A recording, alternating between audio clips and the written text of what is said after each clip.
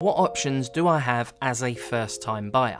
Option 1 Purchase a resale home with a minimum of a 5% deposit.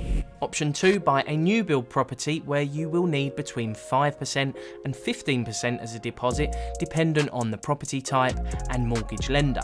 Option 3 Purchase a shared ownership property where the deposit you need to put down could be 75% less when compared to a standard purchase.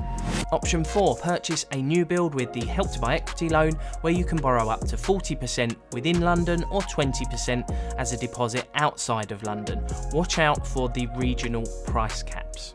And 5 Purchase any property with the aid of the Even equity loan which will boost your deposit by up to three times.